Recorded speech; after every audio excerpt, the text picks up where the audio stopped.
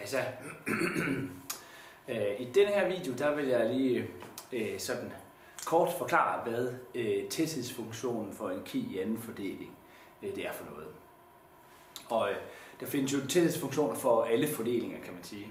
Så, øh, så det hvis man nu ikke, hvis man nu ikke kender til normalfordelinger, sådan, så er det lige en kort introduktion, det her.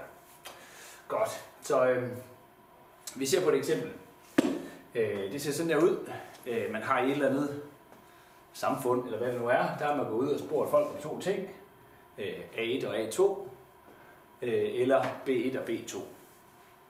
Og øh, i det her øh, samfund her, der ved vi, at øh, der gælder, at, at de der parametre der, A1 og A2, de er uafhængige af B1 og B2.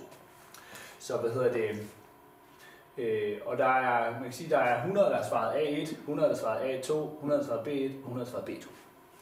Så eftersom der er uafhængighed mellem parametrene, så er det her jo vores forventede fordeling, ikke? at vi har lige mange, øh, hvad hedder det, øh, i, i begge, altså alle felter. så, øh, så hvis vi går ud og laver sådan en undersøgelse her, øh, i det her samfund her, øh, så vil vi jo, øh, så vil vi forvente den her fordeling her.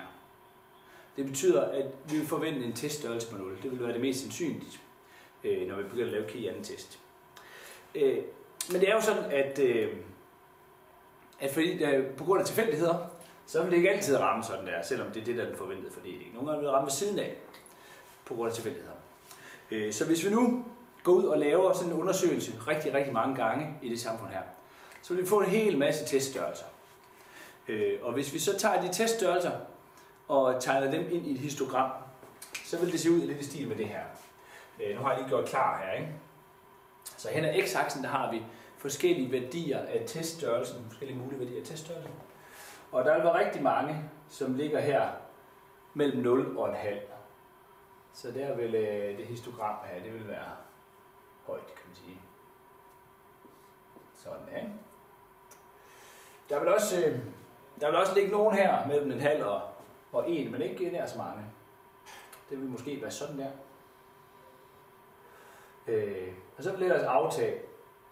Så hvad hedder det? Så det vil muligvis se ud lidt i stil med det her.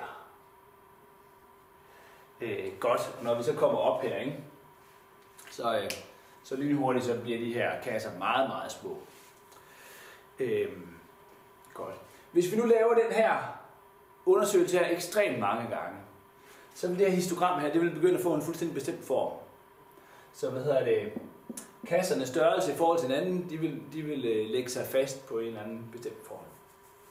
Øh, og det er det, der beskriver den fordeling øh, af teststørrelser inden for sådan et øh, øh for sådan en key test der.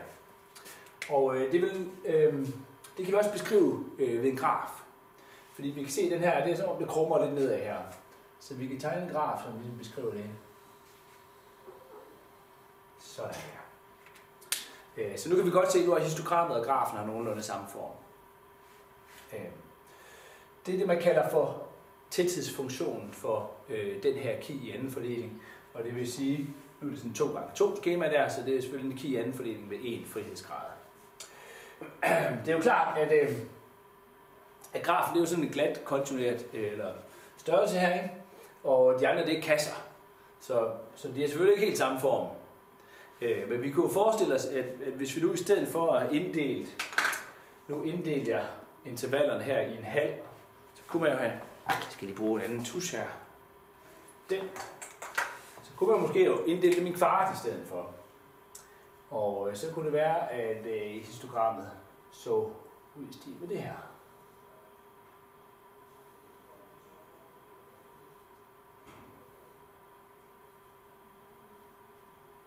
Det bliver sådan lidt mere nuanceret, ikke? Øh, så er det som om, at på en eller anden måde, så passer det der histogram en lille smule bedre med, øh, med testfunktionen. Øh, så kunne vi jo også, øh, altså hvis vi bare lavede nok undersøgelser, jamen, så kunne vi også inddele dem i en bredde af 0,1 eller 0,01 eller 0,00001. Ikke? Vi kunne have, i princippet have lavet intervallerne lige så små vi ville. Øh, så længe vi bare havde lavet nok undersøgelser, og det er jo selvfølgelig helt sindssygt bange, men altså hvis vi bare havde lavet nok af dem, så ville det være fint. Og på den måde, så kan vi godt se sådan et histogram her. Øh, så kan vi udglatte det, kan man sige, fordi vi kan jo bare lave lade antallet af intervaller grænse mod uendeligt. Øh, godt, så det er det, der hedder, altså man kan sige en udglatning af, af histogrammet her, øh, det, er, det er det, man kalder for tæthedsfunktionen, sandsynlighedsfunktionen. Så den viser jo i sig selv også, hvor er det mest sandsynligt at finde, øh, øh, finde flest teststørrelser. Og nu vil jeg bare lige introducere noget, som jeg uddyber i en anden video. Øh, men sådan her ser den ud for, for en øh, key-anfordeling med én frihedsgrad. Og der er det åbenlyst, øh, fordi grafen den, den fortsætter bare deroppe af. Det, er, det er klart mest øh, sandsynligt at finde teststørrelser øh, på 0. Øh, men hvis vi nu har haft en key-anfordeling med lidt flere frihedsgrader, så vil det ikke længere være sådan. Øh, på et eller andet tidspunkt, øh, hvis der er nok frihedsgrader, så vil grafen komme til at se sådan her ud. Så det betyder her, at der er det mest sandsynligt at finde, øh, finde frihedsgrader, øh, eller så at finde teststørrelse omkring 2. Øh, fordi der er flere frihedsgrader, og det uddyber jeg i en anden video. Øh, lige en sidste ting, øh, det er, at øh, når vi har sådan en, øh, fjerner lige der, når vi har sådan en tæthedsfunktion, så den, den svarer jo til den teoretiske fordeling, som histogrammet også viser. Og eftersom histogrammet det har en, øh, øh, det har et areal på 100%, ikke? det vil sige 1, jamen så er arealet under grafen for sådan en tæthedsfunktion her, så er det jo også 1.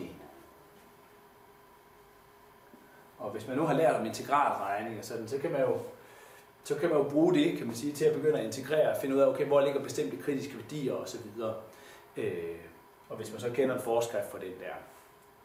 Godt. Det var det. Øh, som sagt, så øh, kig med i en anden video, hvis I vil have en uddybning af frihedsgrader og betydning for tæthedsfunktionen.